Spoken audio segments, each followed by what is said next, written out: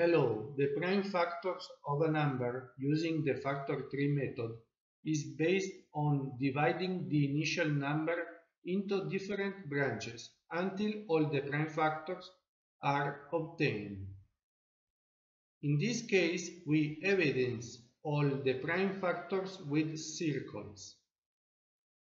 Now we can write all the prime factors that we have obtained. Also, we can use the exponents with the prime factors that are repeated more times. Finally, we can represent all the prime factors that compose the initial number. Thanks for watching.